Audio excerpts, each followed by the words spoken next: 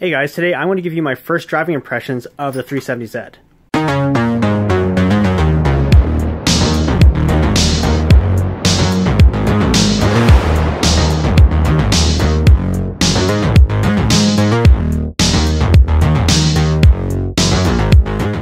So I've been more than fortunate enough to get my hands on a 2017 Nissan 370 Nismo. So this is the top line flagship model of this car for the best possible driving experience that Nissan has to offer for this particular model. Now a couple things I want to know is I was doing some research because I own a 350 to give you guys some background if you don't watch my channel.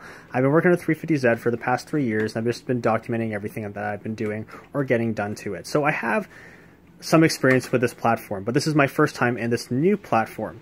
So I did some research. One, uh, because driving this car, you'll notice in my review that it does turn in differently, and I think there's several reasons why it turns in different compared to the 350. One, the wheelbase is shorter.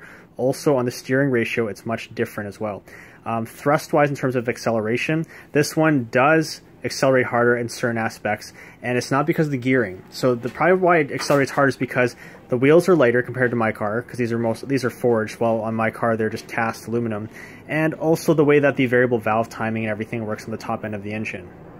Remember, I come from a background of driving vehicles like this that weigh pretty heavy, so I want to say that this car is quite nimble, even though compared to other vehicles like Miatas or BRZs or FT86s, whatever you want to call them, are much lighter. So I will have a different perspective when it comes to driving this car because I'm used to driving full full size trucks on the regular as a daily driver.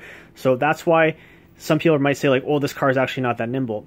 It isn't compared to a lighter car, but it's nimble to me. I want to warn you guys, this video probably is going to offend people, so I might lose subscribers. I hope to hopefully gain a bunch more subscribers, but I'm kind of just tired of all the stat whores out there throwing out statistics at me of what a car should do on the new Nürburgring, what does 0 to 60, what does in the quarter mile. That doesn't really matter. What matters is when you show up, you just get your shit done and then leave.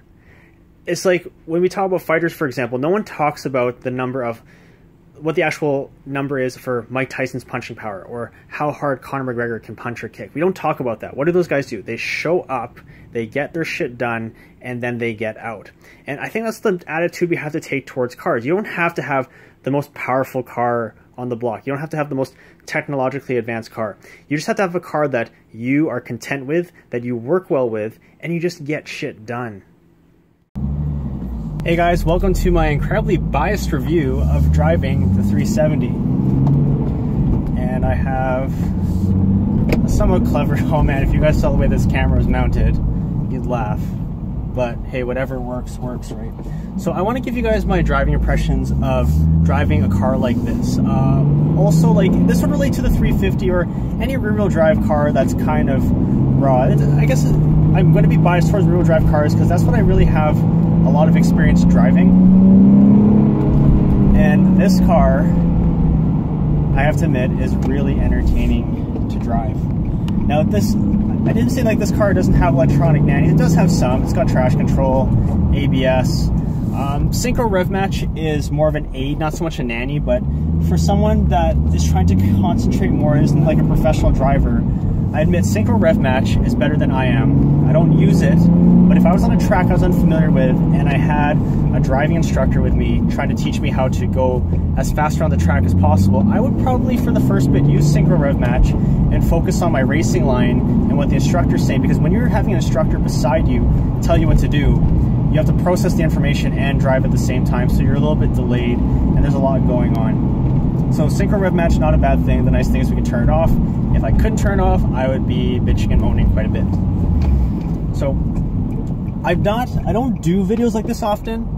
Um, it's not what the channel is about, but I figure it would give you guys a great perspective on someone that has put a lot of time into a 350Z, worked on it pretty hard, um, is familiar with a platform like this, and what, what you know, what, what do I think about driving a platform like this? Now, one thing I have to say is cars like this are never boring. Even just putting around town, it is not boring to drive this car. And what's cool about this car is, if you're talking about mechanically, it has a very interesting variable valve timing system. And it really takes away any delay. Like it has tons of throttle response. And if you guys didn't know this, like I didn't know this till recently, Nissan actually developed variable valve timing actually before Honda did. Just Honda did a much better job of marketing. And Nissan has actually used variable valve timing in a lot of their engines, and most manufacturers use it now because you can hit that nice middle ground of efficiency, low end torque, and high horsepower, all the same thing because you can change the cam profile as you drive. That's a decent downshift. That was me. Yeah, all me. um, I don't know. Just like driving a car like this, like I just want to talk about why it is so fun to drive a car like this as opposed to, let's say, a GTR. If, if you gave me the choice of picking this or a GTR, I'd pick this if money was no object and I would modify the crap out of this to keep up with the GTR because it is so satisfying to run through the gears and be connected to a vehicle. I think that's the biggest thing is I feel connected. I'm doing a lot of the effort as opposed to as opposed to just driving a car with like a supercar, a modern supercar that kind of does everything for you nowadays. Now, I talk about supercars doing everything for you. If you go back to the days of like the Countach and the Testarossa, you know, let's just go back to the days when Enzo Ferrari was alive. Those cars were drivers' cars. They had lots of horsepower. They were hard to drive, like manual windows, no power steering, because you know the technology wasn't there. They were trying to do everything. They, they were race cars for the street and it took a certain amount of skill to drive those cars. Now, this car is significantly, it's pretty easy to drive, don't get me wrong, but to get the most performance out of it, you have to spend some gun time in it. You have to spend some time in the seat and get good with it. just like firing a firearms or even, you know, in martial arts, punch, like striking, you have to get good at it to be effective. Like if you were a marksman, you're going to do a custom trigger, you're going to set up your scope, you're going to zero in, you're, you're going to zero in your gun so then you, for you, so you can shoot that firearm properly and effectively. Uh, some people, you can't, unless you're like a professional, you can't just pick up any gun and be good at it. You have to get to know the gun. Same thing with a car. You have to get to know the car. And I find it really interesting how people think nowadays. A lot of people think about like, well, just horsepower numbers. Like it should be this fast and this, that. And everyone's sitting around a table talking about the potential of their vehicle. And there, no one's talking about how the vehicle drives. And I think that's a huge element to owning a car, you know, a sports car in general. And um, there's very few cars that deliver that experience. Like before, you know, look at like a Ferrari 550 Maranello, for example. Manual transmission, front engine, rear wheel drive. Now the latest version of Ferrari, it's all Tiptronic because it potentially is going to give you the best numbers. And commercially, it's a much better vehicle as far as the business goes because you can you have a much bigger demographic. So from a business aspect, I understand why these cars are like this, but I don't care because I want to shift my own gears. I want to screw up. If I were to go to the track and race someone and I lost, they lost, like, oh man, missed the gears, like, oh, too bad. You know, we'll do it again, we'll do another round, and, you know, we'll see how you do.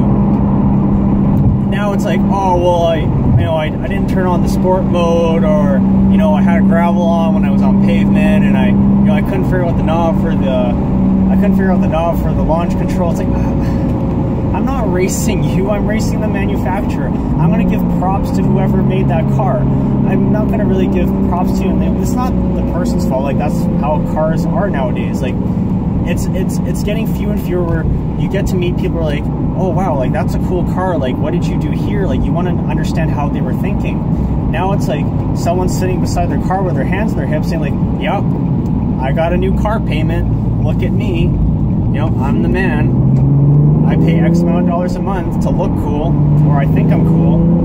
And that's just consumerism at like at its best right? Um, i'm an advocate for the aftermarket. I'm not saying I'm not for new cars. I am for new cars. I'm, I'm for new cars like this where I got to work for the driving experience. Um, I'm not for new cars that are overly complicated and do the driving for me. I don't see the point.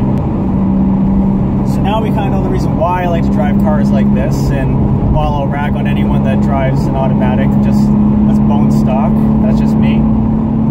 Let's talk about this car because I've seen reviews or comments, I should say, where people complained about the car saying it's it's hefty and you know, a 350 might be more fun to drive, and my 350 is fun to drive. And maybe we're talking about, if we're talking about like maybe base model 370s, well, let's talk about the Nismo because I drive my car semi regularly, so I know it pretty well. And now I had the opportunity to jump between the two cars. This car turns in quite. I don't know. It's like I want to say it's more responsive. Now, there's several reasons why it might be more responsive. The steering ratio is different, wheelbase is shorter which a little bit shorter, and I didn't notice any difference. But usually longer cars are more stable at high speeds. I didn't have that problem uh, with this car at higher speeds, but it's something to note if you're going by theory. So I think that's why this car feels more nimble than mine. It is technically stiffer on paper. Can't really tell because we're, you know, my car is older, so a car with older bushings that has more deflection, this is a fresher car, it's not going to have that issue. So, but Nismo is really known, Nissan and the Nismo division are really known for suspension tuning.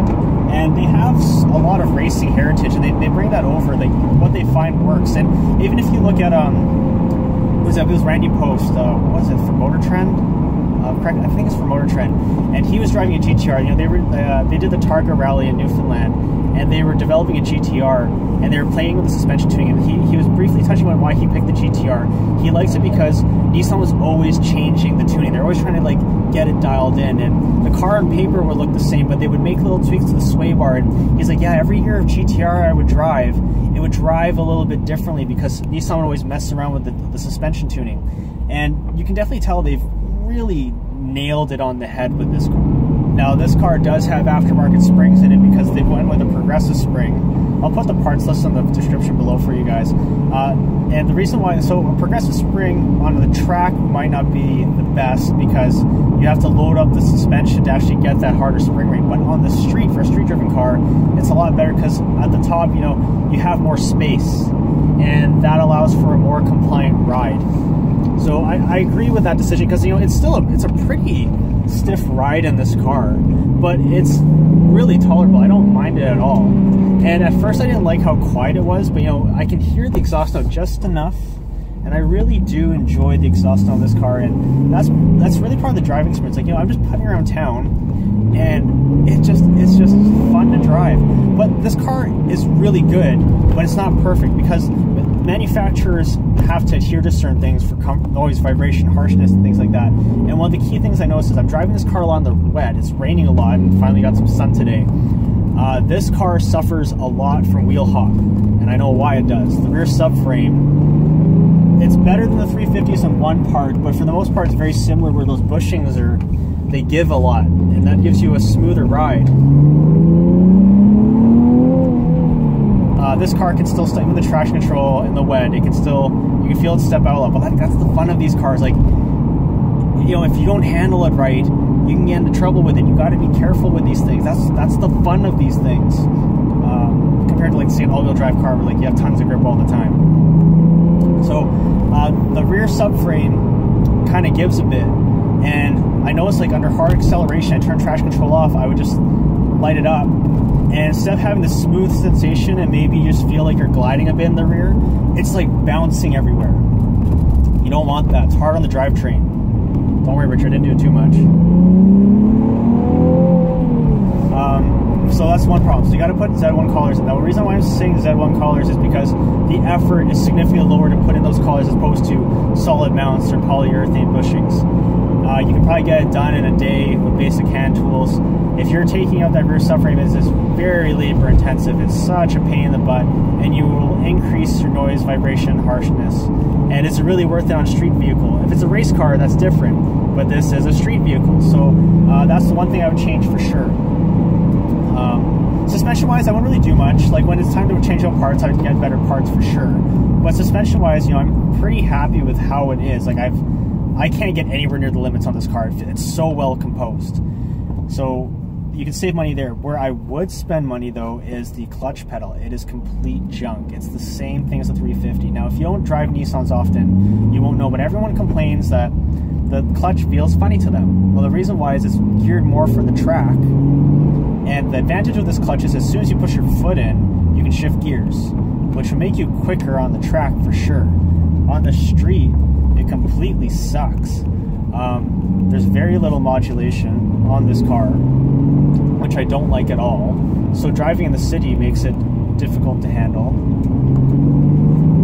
and you just get tired. It's like it just doesn't even feel good. So RJM Performance makes a clutch pedal for these cars.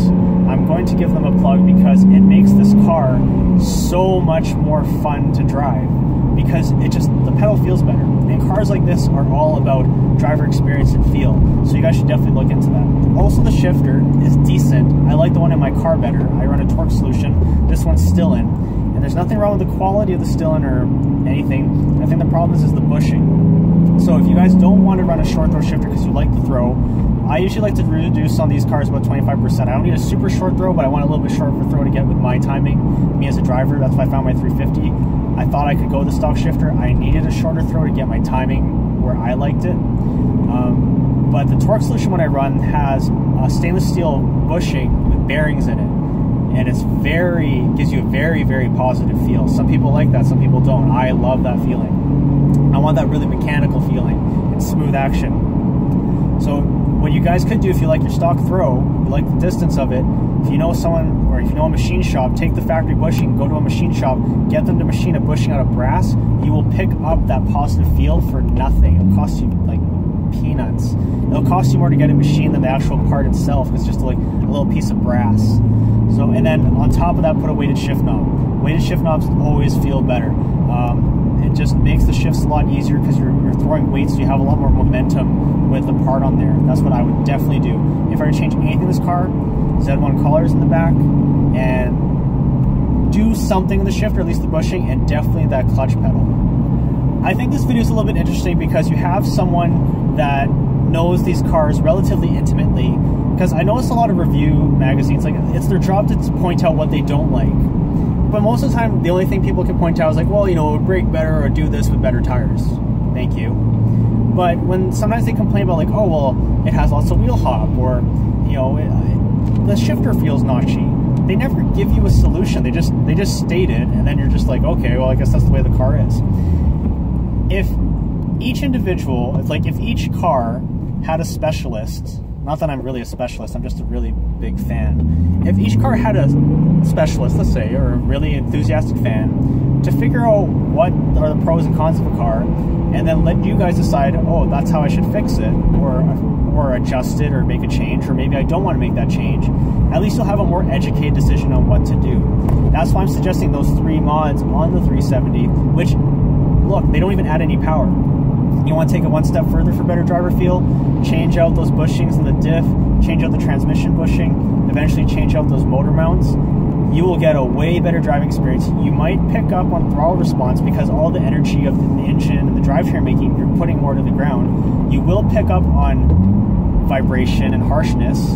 So for people that want a really comfortable ride, you might not want to do that at all. For someone that wants the most raw experience possible for the least amount of money spent, yes, then you want to look into modifications like bushings because bushings are such an underrated modification that you can do just by changing the material. You can get so much more feel, positive feedback. You can change the char characteristics of the vehicle. The parts are not expensive at all. The labor can be intensive though. And a lot of people don't talk about the connection between the parts on the car to the frame or the chassis remember those bushings do a lot because if you don't have those bushings, you're either going to have a horrible ride or it's not going to perform as well as it could. Hence why we have so much wheel hop in this car. Uh, after I put the collars in my car, I pretty much eliminated the wheel hop. You know, it was wet out because I wanted because I noticed I get that problem in the wet because I don't I don't really drop the clutch and then spin the tires in the dry. It's just you know I just don't do it that often. It's really hard on a manual transmission uh, setup because unlike a, like an automatic with a torque converter, it's a direct connection from the engine to um, the rest of the drivetrain. Now, one of the things I love about the 370 is its driving position. Um, you take this for granted, and again, it's it's another thing people don't think about, and I didn't really realize until I sat in other cars. I sat in a Viper, which I felt was horrible. Like you're like tucked off to the side because okay, here's a chassis, here's a motor and transmission. Oh yeah, we got to put a person in it. That's how I swear the Viper was designed.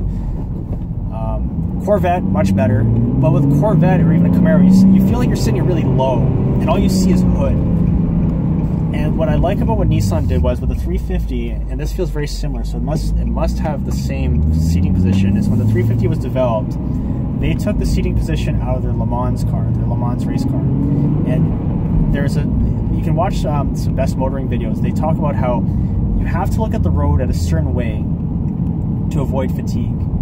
And I admit it must be true because whenever I drive my car for long distances, I never feel tired. I never feel tired in that car. I guess because like it's just you know it's, heightening all your senses. When you drive cars like this, like your senses just get lit up. It's just I don't know. I notice it. I don't know if everyone else does, but I notice when I drive these things.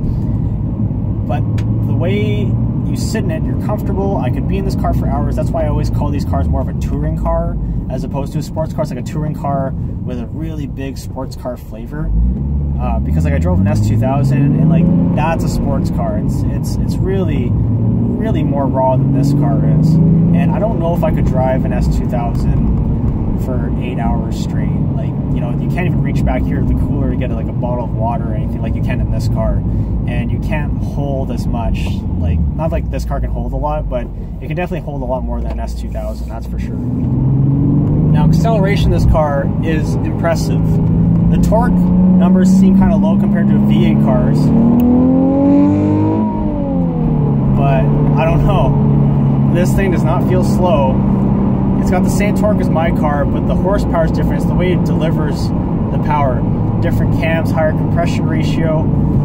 Like mine's about 10.3 to 1. This one's 11 to 1. Uh, like I said, different cam profile. And the way the cams work is very different too. Uh, this style of uh, variable valve timing, uh, I'm just going to call variable valve timing, uh, is was introduced with the HR and the 350s and it's just such a refined engine now. I find like I would be at 4,000, 5,000 RPM and not even realize it without until I you just you're listening to the engine if you're not paying attention to the, uh, the tachometer because this engine will wind out to 7,500 RPM no problem as is and you know I'm sure you could remove the rev limiter and it could probably go higher. I'm not sure how long it would last, but I believe the drive train, the the valve train in these cars is quite stout already compared to let's say a 350 with a regular DE engine. Uh, my DE engine is significantly not as complex. I feel as complex as my small block Chevys for sure. But if you look at how this variable valve timing works compared to a regular DE engine or rev up, uh, significantly more complicated. But it's proven because the car's been out for so long, and I don't really hear people complain about the timing failing, so I have to give it that. You know, back in the day when VTEC came out, everyone thought it was like magical stuff and thought it was too complicated, wouldn't last long. And look, now everything's got variable valve timing in it now. So the power is just enough. I'm really glad they kept it in because it's more about the experience of having a car like this. I think if the car was 500 horsepower, oh, for sure it'd be fine, but I don't think a lot of people will be able to handle it. Uh, the suspension is spot on, comfortable driving position and it's just it you know when people say like feels like it's on rails this car literally feels like it's on rails. Like you point it goes it's planted. There's no drama or anything in the turns. And the steering is just effortless. Now one thing i will notice about this car's steering versus my car i don't know if this has the variable steering like the 350 does because my 350 at speed it feels quite heavy uh, which i like. This car the steering input feels really good, but it always feels really light, like really effortless. I have good feedback, but it feels effortless all the time. That also might be due to the steering ratio on it. Um, also, you have to consider this car feels this car feels nimble to me because of the way the suspension set up and the wheels that they chose. And the 350 inherently as well has not much unsprung weight. It's forged aluminum uh, suspension bits, but the wheels are really what's different here. And I believe because of these wheels, that's why this car feels quite nimble and it just does what it does is because those wheels are so light compared to my car. I'm pretty sure if I put these wheels on my car, it would feel a lot similar, but I would have to still upgrade. I would still have to do polyurethane bushings and I would have to freshen up a lot of suspension on an older car to make it feel as tight as a newer car like this one. So who buy a car like this because I'm going to totally advocate people buying this car because they don't make 350Zs anymore and I support vehicles being made like this and this is the original one. This isn't a knockoff. Genesis Genesis. So who wants to buy a car like this? People that like to drive, people that like to earn their experience. This car doesn't do a lot for you as far as electronic assists.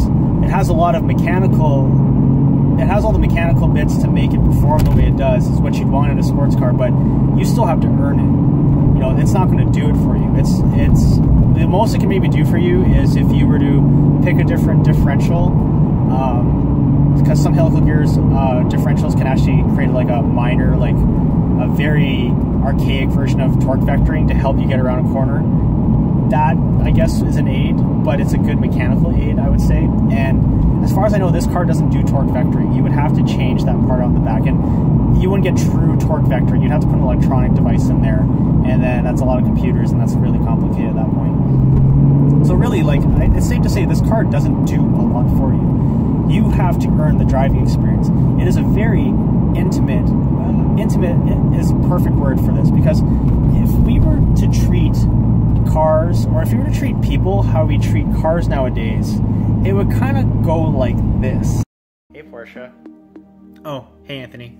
So I was kind of thinking on this drive, we could maybe do a brake stand or a burnout or something. Burnouts are gross.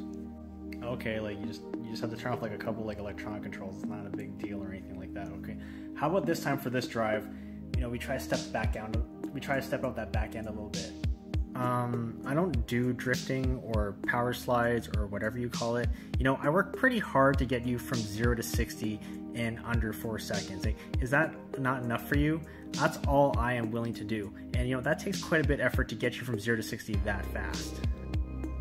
Yeah, but there, there's a lot more than just going to zero to 60 fast. Like, you know, sometimes you, you seem a little bit frigid sometimes when we're driving. Like, know, you're, it doesn't seem like you're into it. You just, you know, just you just do that one thing only. Well, yeah, I just want to get you there. Don't don't you want to get there faster? Like that's what I'm here to do for you. Yeah, I, I understand that. I appreciate that. Like I, I like getting to 60 miles per hour really fast, and I, I appreciate that that you do that for me. But you know, there's so much more to driving. There's there's the connection that we have and how things feel and how we get there is incredibly important not just going 0 to 60 as fast as possible like there's got to be more to it right i don't know that's all me and the other new models do now do you guys want a driving experience like that where it's like kind of a one trick pony kind of boring kind of frigid no, I want to take my time in the car. I want to be thorough. I want to get to know the car. I want to know what it likes, what it doesn't like, and then it and that translates to what I like and what I don't like. That's the kind of driving experience that I want, and it's so rare. It's it's hard to to buy that new nowadays.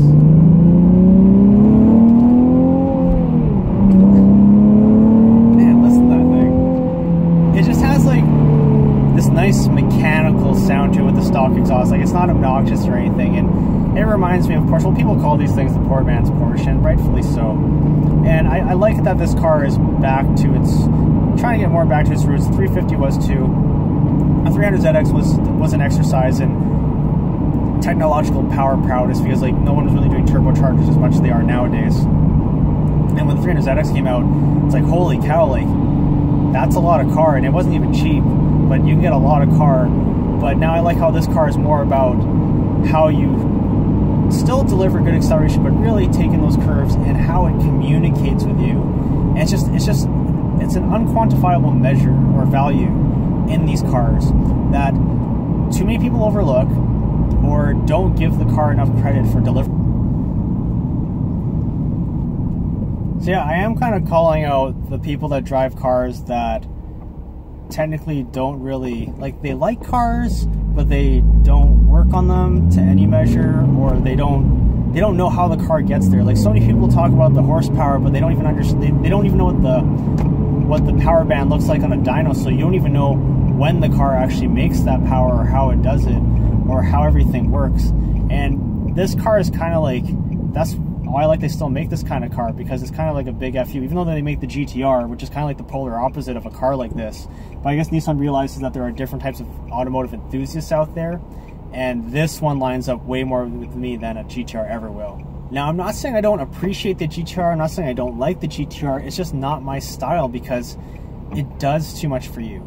I would rather spend the money on a used version of this if I had the same budget and then go forced induction on something like this to keep up with a car like that. But now its main disadvantage is like if it rains, you'd have to be extremely careful with a car of this nature as opposed to the GTR because the GTR is still fast in the rain with its all-wheel drive and all of its electronic assist. So definitely it's a technological marvel and I appreciate the technological advance, but I just don't want manufacturers to like I, I hope that they continue to make a class of car like this for people like me. And I hope to motivate and inspire people with this video to appreciate cars that are raw like this, that that make you connect with it more as opposed to all these newer cars coming Oh, like when this thing hits like 7,000 RPM, it's just music. And it does it so well. Like, and that's why sometimes I felt like this car sometimes doesn't feel as fast as my car because it does it too well. It's too smooth. If you guys are into cars that you can modify, because this car you can still modify if you got the budget for it. It's pretty friendly as far as that goes. And you want it to be relatively simple, because compared to a lot of like, even if you compare this to a Subaru Impreza, like an STI, this is pretty simple compared to that. And this is still relatively easy to work on for the most part. It's not the easiest car to work on. It doesn't have a ton of space under the hood, but you can do it. If you spend the time to do your research, you can do it. They, these things are still, you know, weekend warrior, mechanic friendly, and you just you get so much car like this. Like you get that borderline exotic styling, you get the sound, you get you get like way better than average performance. It's no Corvette by any means. Like this is not a Corvette killer. In a straight line, in a lot of aspects, actually a Corvette because of that engine, and it's a pretty well developed chassis. It can outshine a 350, a 370. So it's kind of like, well, why wouldn't I just buy a Corvette? Buy a Corvette because you just don't want to own a Corvette. It's like, why use an Android phone? I don't want an iPhone. It's kind of like that. Um, this is a, like, it definitely takes some of the particular taste to want to drive and own a car like this. Like, this car still has a lot of potential. And you buy these cars, like I said before, for the driving experience. Because a Mustang, unless it's like a track edition Mustang, it's kind of too big of a car. It's not going to feel as nimble as this. Now, we, we can say that it's not as nimble as an S2000, but they don't make S2000s anymore. Sure, we can argue it's not as nimble as a Miata, but the Miata's a different kind of car in itself. So, a Miata's probably going to perform better than this on an autocross if you have the exact same driver. It might feel better because it's lighter. But as an overall car that kind of like does it all as far as the sports car experience goes, like it's really hard to beat this car. Like, who cares that it only has two seats? Who cares that it's naturally aspirated? Cares that, you know, I can hear tire noise in the back and I can hear the engine? I like hearing the engine. Manufacturers know that you like hearing the engine because they are augmenting engine noises through the stereos now in a lot of vehicles. EcoBoost Ford F-150s used to do that. I don't think they do it anymore since they changed the sound system. I know EcoBoost Mustangs do it. uh, I believe Civic Type R's do it. So it's funny, these manufacturers putting all this sound insulation in the cars, making you spend money on that, and then they're distorting your sound system by playing engine noises through it while you're playing music. Just build it like this. Put less sound insulation in it so I can hear the engine.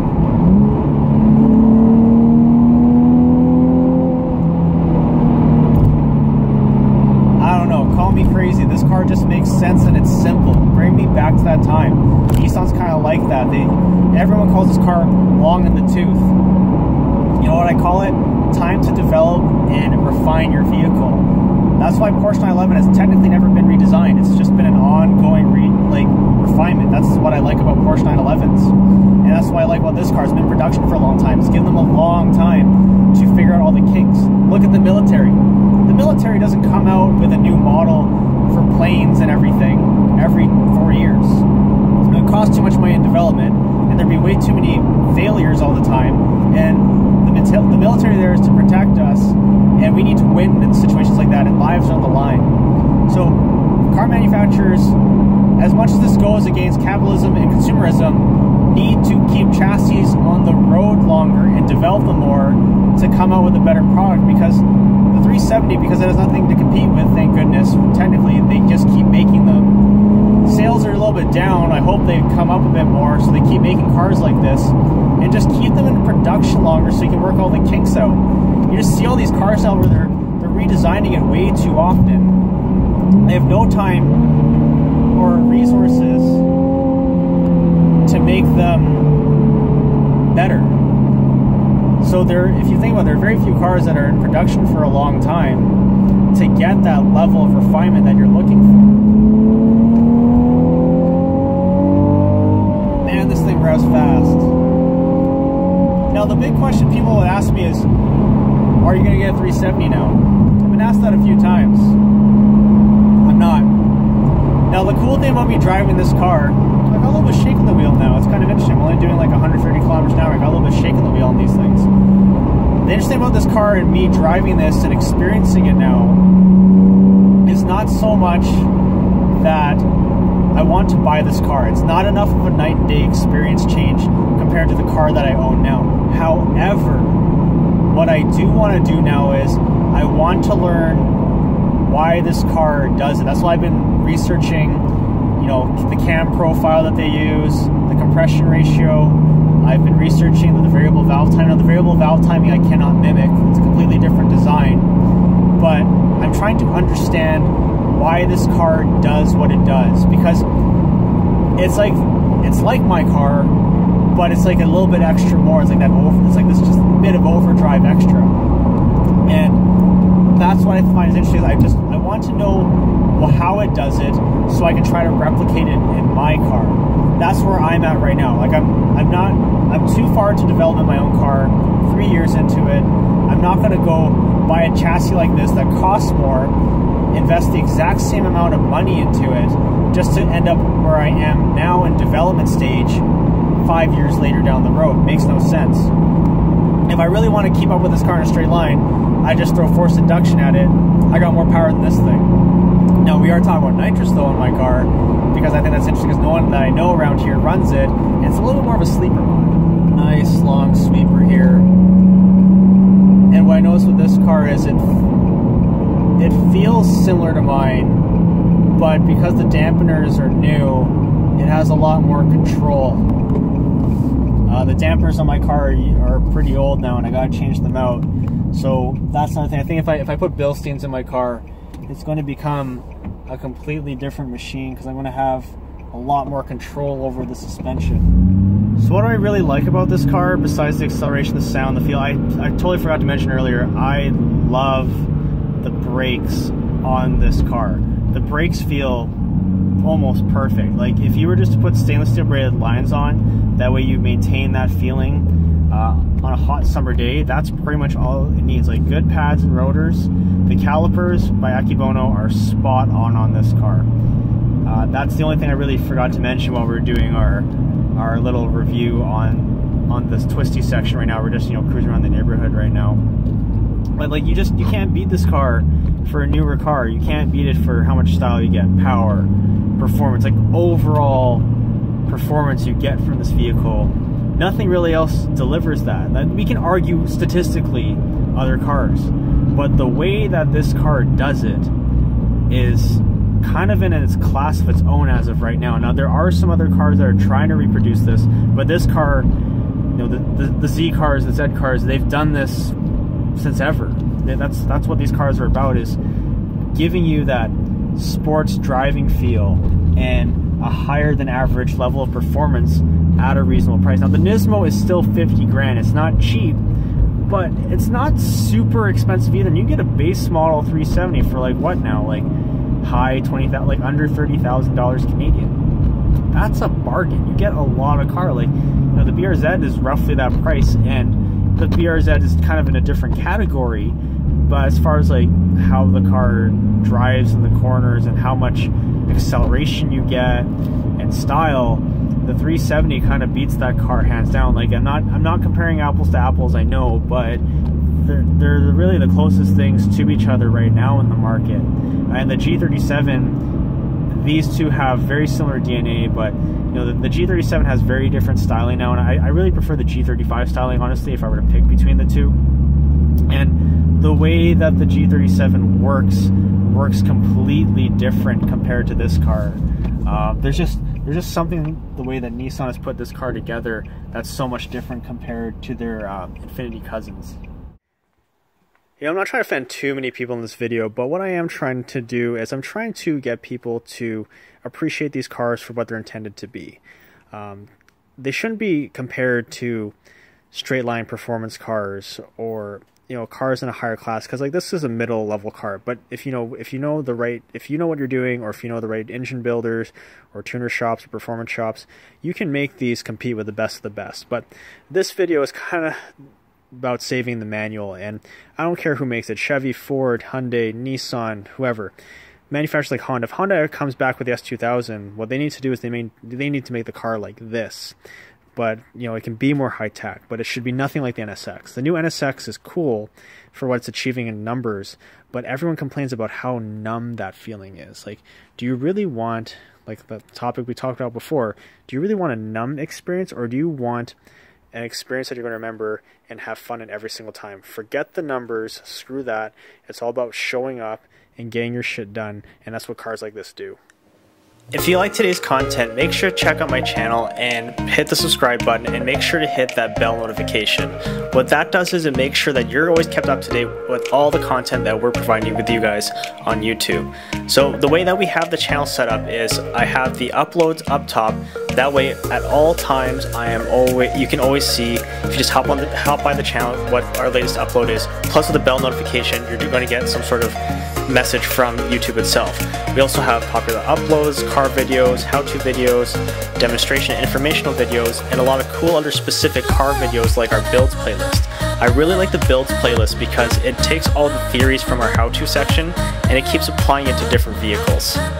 Don't worry Richard, I'm washing it. What I just realized, the Nissan Juke is basically what happens when the 370Z and a Nissan Cube have incest, and then you get the Juke. That's what the Juke is. I wonder if Richard would notice if I took his wheels off. Well, that's pretty cool. These are functional. You can actually see right through them. I hate you. I hate you. I hate you. Ryan, I need a new one of these. Ryan, Ryan, I need one of your pedal assemblies in this car to make this car more magical.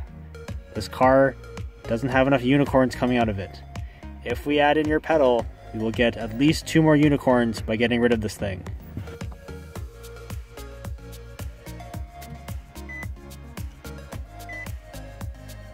What? It's a clock? Where's the boost gauge? Bunch of shit equipment.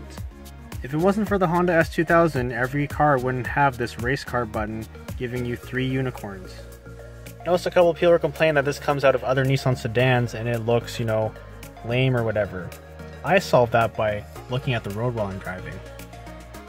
Do you think Richard would notice if I took his calipers off? And I'm pretty sure he won't notice if I take his Nismo caps though.